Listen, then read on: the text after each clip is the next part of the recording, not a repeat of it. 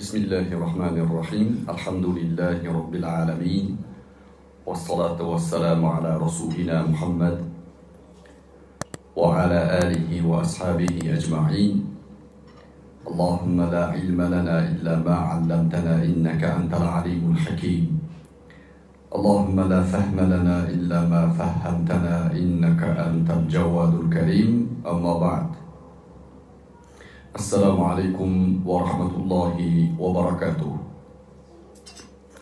Alloh subhanahu va taolo siz va biz inson zurriyotlarini odam bolalarini o'zining buyuk irodasi bilan yaratdi va bu yaratishligida insonning yer yuzida o'zining xalifasi ekanligini tayin qildi.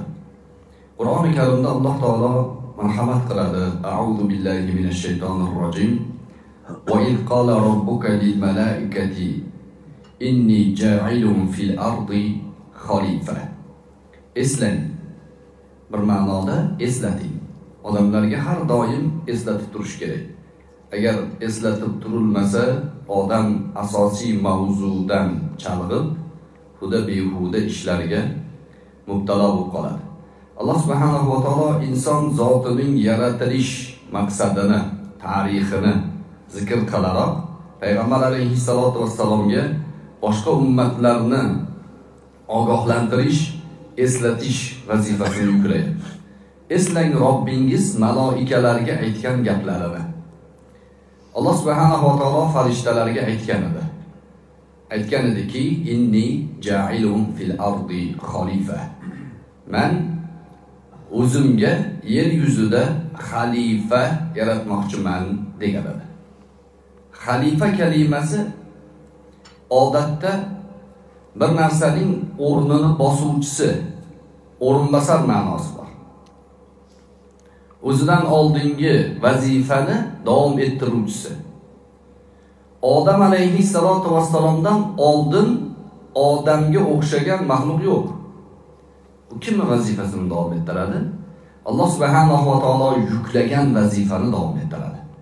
Alloh subhanahu va taolo odamni yaratib yer yuzida unga o'zining vahiysini yuborishligini va bu vahiyni ta'limotlarini yer yuzida amalga oshirishlik vazifasini yuklagan. Vahiydan ko'zlangan maqsad inson zotini yer yuzini obod qilishligi bilan vazifalangan. Yer yuzini obod qilish avvalo tavhid kalimasi asosida bo'ladi. Allohni yakka deydigan inson zoti yer yuzida bor ekan yerning obodligi bo'ladi. Imom muslim rivoyat qilgan hadisda nabiy sollallohu alayhi vasallam aytdilarki yer yuzida Alloh Alloh deydigan odam qolmagan kuni qiyomat bo'ladi dedilar. Yerning buzilishi yerni obodlikdan harobaga aylanishligini ilk sabablardan biri Alloh kalimasini tavhid aqidasini tashib yurgan ko'tarib yurgan inson qolmasligi kerak. Bu ma'noda har bir mo'min har bir musulmon yer yuzida o'ta ahamiyatli inson ekanligini bilish kerak. Har birimiz qiyomatni oldini olib turgan insonlarmiz. Alloh subhanava taolo tavhid kalimasi bilan yer yuzini obod qiladigan o'zining xalifasini yaratmoqchi ekanligini aytganida farishtalar nima dedi? Aytdilarki yer yuzida qon to'kadigan fasod buzg'unchilik qiladigan insonni yaratasanmi dedi. Mana bu oyati kalimadagi farishtalarning savoli inson zotining o'zida ixtiyor kalimasi irodasi borligiga dalolat qiladi. Har bittamizda ixtiyor sifatimiz bor. Agar biz Allohni aytganini qilib tavhid asosida to'g'ri yo'lda yursak yerni obod qiladigan insonga aylanamiz. Bo'lmasa o'z ixtiyori bilan qotillik qiladiganlar fisq fujurga ketadiganlar Allohga isyon qiladiganlarga ham Alloh taolo yerda imkon beraveradi. Lekin bu ixtiyorlari bilan shu buzg'unchilikni tanlaganlari uchun alloh taolo ularni alohida hisob qiladi. Va yer yuzida inson hayoti boshlar ekan bu inson hayotining yer yuzida abadiy emasligini bildirdi. Qur'oni karimda bir necha o'rinlarda o'limning zikri keladi. O'lim. O'lim shunday bir hodisaki unga ishonishlik uchun hech bir millatni farqi yo'q. Xoh ateist bo'lsin xudoni tan olmaydigan xoh boshqa nasroniy dinida bo'lsin xoh buddaga sig'inadigan bo'lsin xoh musulmon xoh qari bo'lsin xoh yosh xoh erkak bo'lsin xoh ayol o'lim oldida qo'lini ko'taradi. Qochadigan joyi yo'q. Sizlar o'limdan qochasizlar deydi alloh taolo. Fa innahu mulaqikum. O'limdan qochish orqadan kelayotgan narsadan qochish bilan ta'riflanadi. Qochgan odam orqaga qaramay qochadi. Orqadan quvadigan narsaga. Alloh taolo o'lim ro'baro'yingizdan chiqadi deyapti. Qochgan tarafimizdan keladi o'lim. Ya'ni qochib bo'lmaydi degani bu. O'lim shunday hodisaki tavhid bilan allohga iymon keltirgan holda yashagan odamning bayrami hisoblanadi. Nimaga? Laqad xalaqnal insana fi kabad. Yer yuzida inson hayoti mashaqqatdan iborat. Bu mashaqqatdan qutulib jannat hayotiga ketishlik uchun o'limdan boshqa bosib o'tadigan ko'prik yo'q. Qur'oni karim o'limni hayotdan oldin zikr qilgan xalaqal mauta val hayata liyabluwakum ayyukum ahsanu amala. Xalaqal mauta deyapti alloh taolo. Birinchi o'limni yaratdi deyapti. Avval hayot keladi aslida. Nimaga o'limni zikr qildi birinchi? Chunki haqiqiy haqiqat o'lim. Tirikligimiz nisbiy birodarlar. Hayotimizda minglagan orzu havaslar rejalar shartnomalar bir necha narsalarni o'ylab yuramiz o'lim kelganda hammasiga nuqta qo'yadi. Rejalar qolib ketadi shundog'icha boraman uchrashaman degan uchrashuvlar hammasi ibtol bo'ladi. Har qanday orzu havas lazzat dunyolari o'lim bilan to'xtaydi. Demak bu haqiqatni bilgan aqli raso inson mana bu haqiqatga tayyor holda yurishligi kerak bo'ladi. Alloh subhanahu va taolo bu o'limni mo'minlar uchun albatta eng yaqinlaridan ayrilish mahzunlik hodisasi qildi lekin o'lim hayot tugadi degani emas. Ibn mo'ja ibn hibbon kabi muhaddislar rivoyat qilgan hadisda hasan sanat bilan rivoyat bo'lgan nabiy alayhissalotu vassalom aytadilarki mo'min odam ikki kundan ortiq o'zining vasiyatini yozmasdan uxlashligi joiz emas deganlar. Mo'min bo'lganimiz uchun har kuni imkon bo'lsa yotishdan oldin vasiyat yozishimiz kerak. Uxlayapmiz ertalab turamizmi yo'qmi aniq emas. Biz ko'p rejalarni tuzamiz lekin biz bilan oldi berdi qilganligimizni bizdan boshqa hech kim bilmaydigan ishlar bor. U nima bo'ladi? To'satdan ketib qolsak farzand bola chaqalarimiz oldi berdini kim bilan qiladi keyin? Kimdan rozi rizolik olish kerak? Bu narsalar to'g'risida nabiy alayhissalotu vassalom mo'min vasiyatni yozishda ikki kun kechikmasin deyaptilar. Bir kun yozmay qolishi mumkin ertasi kuni yozib qo'ysin deyaptilar. Nima uchun? Mo'min haqiqatni har doim ko'z o'ngida o'ylab turadi. Mo'minni yutug'i shu doim tayyor turadi. Tayyormisan desa tayyorman deb ketish kerak. Chunki kelgan paytida idza jaa ajaluhum la yastakhiruna sa'atan va la yastaqdimun. Agar ajal kelib qolsa yarim soat orqaga oldinga surilmaydi. Uyimga borib vasiyat qilib kelay desa imkon berilmaydi. Kelgan nuqtada alloh subhanahu va taolo omonatni olib ketadi. Alloh subhanahu va taoloning bu haqiqatlari bir ma'noda mo'minga ne'mat. Faraz qiling 100 yil 200 yil 500 yil 1000 yil yashash bo'lsa o'lim bo'lmasa nima ahvolga keladi dunyo?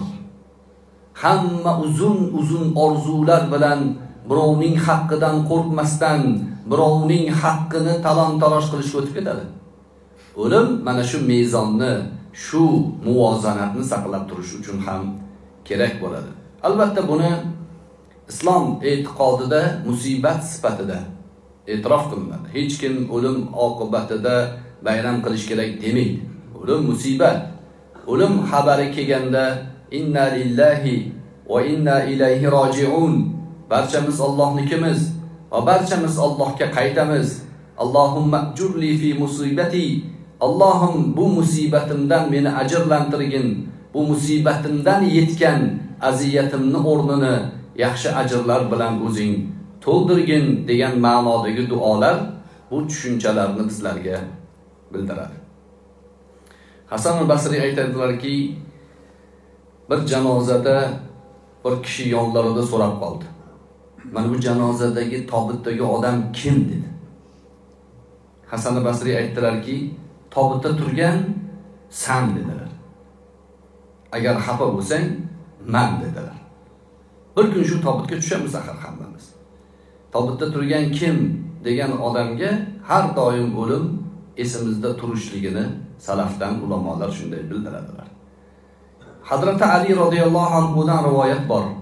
Inna minal ibrati yakfikal mautu ibratan. Agar nasihat olmoqchi bo'lsang bir kishi senga nasihat qilishligini va'z qilishligini xohlasang o'limdan ortig'i yo'q. Eng go'zal nasihatchi o'lim.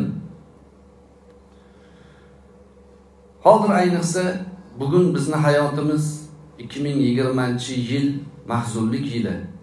Atrofimizda yosh tanlamasdan e, ko'p bu musibatga uchragan odamlarni ko'ryapmiz. Endi oddiy inson hayotida dunyodan o'tishligi bor. Shu suhbatimizni eshitib turgan eshitmay dunyoda yurgan odamlar 100 yildan keyin hech kim qolmaydi. Hech kim. 200 yildan keyin hech kimimiz qolmasligimiz aniq. Lekin insonning hayotidagi qadriga qiymatga yashadi shu odam yoki shu hayotni man yashadim deyishligim uchun kerak bo'lgan asl maqsad Allohning roziligi uchun yashalgan hayot. Uzoq umr juda ko'p faxrlanadigan umr emas. Yaxshi bo'lsa yaxshi. Bir insonning umri uzoq yaxshiliklari ko'p bo'lsa juda ajri baland.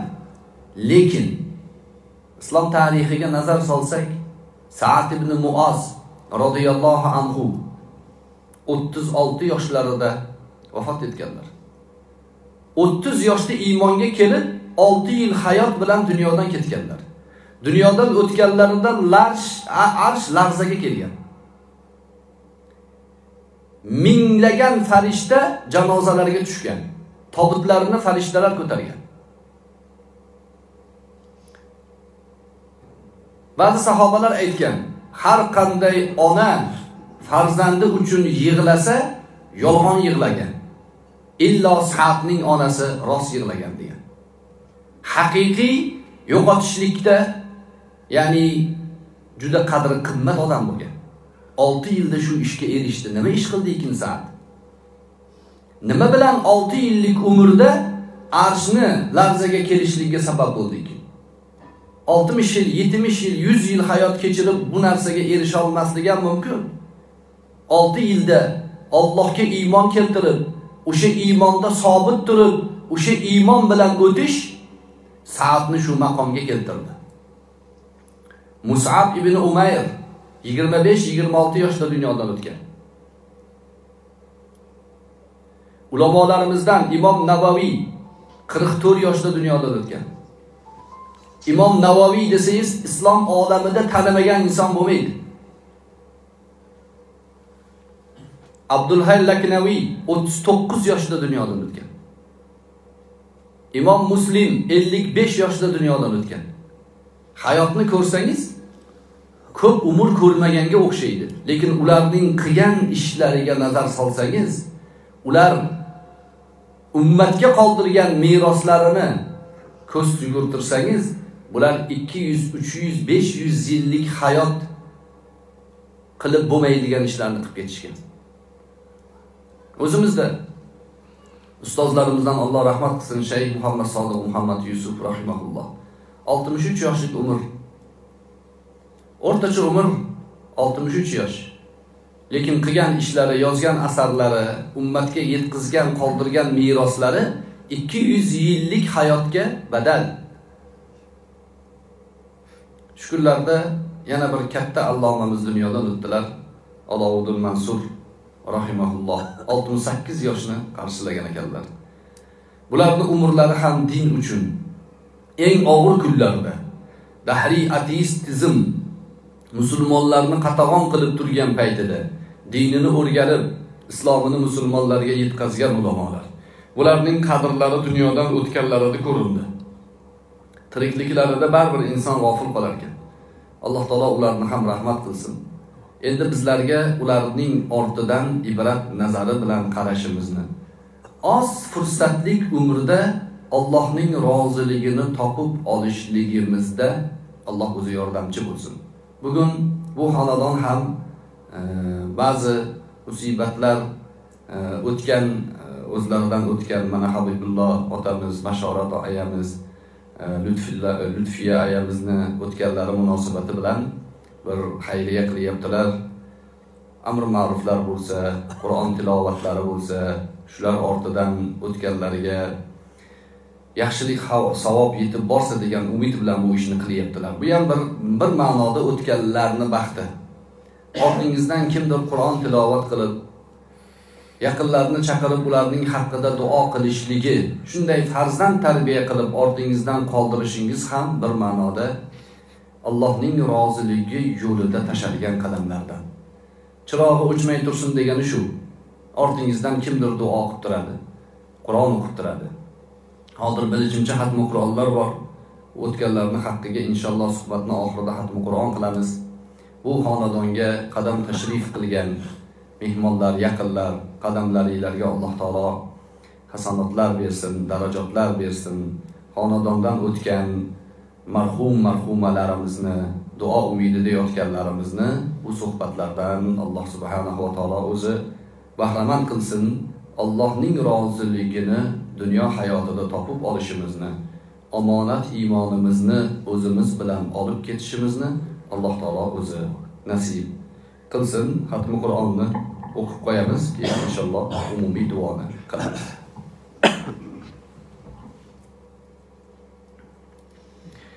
أعوذ بالله من الشيطان الرجيم. بسم الله الرحمن الرحيم. قل هو الله أحد. الله الصمد لم يلد ولم يولد ولم يكن له كفوا أحد. بسم الله الرحمن الرحيم قل أعوذ برب الفلق من شر ما خلق ومن شر غاسق إذا وقب ومن شر النفاثات في العقد. بسم الله الرحمن الرحيم.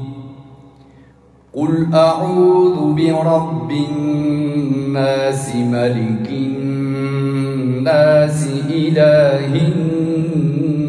الناس.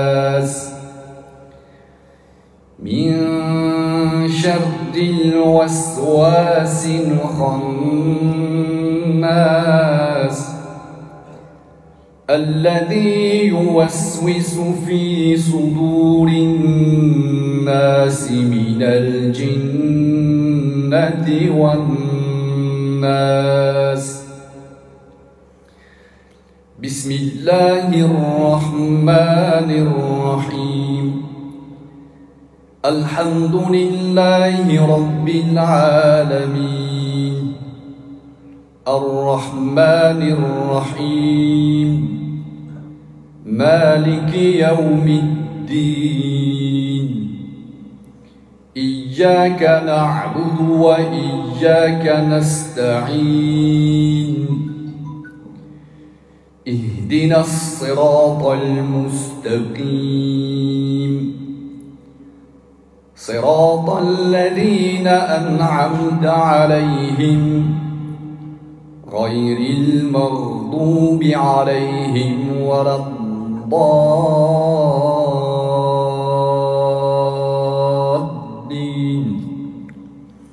سبحان ربك رب العزة عما يصفون وسلام على المرسلين والحمد لله رب العالمين. اللهم ارحمنا بالقرآن العظيم واجعله لنا حجة يا رب العالمين. اللهم بلغ ثواب ما قرأناه ونور ما تلوناه منا هدية إلى روح سيدنا محمد المصطفى صلى الله عليه وسلم. وإلى أرواح جميع المؤمنين والمؤمنات والمسلمين والمسلمات الأحياء منهم والأموات. إنك سميع الدعاء. Parvardigoro barchalarimizni o'zingga ibodatlarimizda mustahkam qilgin. Xonadon sohiblari sohibalaridan duo umidida o'tgan habibulloh otamiz bashorat ayamiz lutfiya ayalarimizni alloh taolo o'zing rahmatingga olgin. Aytilingan masalalardan qilingan tilovatlardan xato nuqsonlarimizni afu qilib qabul amallar qatorida qabul qilib hosil bo'lgan ajrlardan bularni bahramand qilgin. Bu majlisimizda o'tirgan yoshi ulug' otaxonlarimizni tanijonlarini sog' ibodatlarini qabul umrlarini uzoq duolarini ijobat qilgin. Bizlardan ham o'tgan duo umidida yotganlarga yaxshiliklarimizdan xudoy taolo o'zing yetkazgin bahramand qilgin ularning darajotlarini o'zing yuksaltirgin ruhlarini shod qilgin hisob kitoblarini oson qilgin. yaqin kunlarda o'tgan ulamolarimiz xosatan aloviddin mansur rahimaulloh ularni ham qilingan xatmi qur'onlar fayzidan barakotidan bahramand qilgin. Ularni xudoy taolo ortlarida qoldirgan sadaqai joriyalarini to qiyomatga qadar o'zlariga hamroh qilgin. Ummatga qoldirgan ilmlaridan manfaatlanib ularga amal qilib borishlik baxtini o'zing nasib qilgin. Va sallallohu va sallama ala rasulina muhammad. وعلى آله وأصحابه أجمعين. برحمتك يا أرحم الراحمين. السلام عليكم ورحمة الله.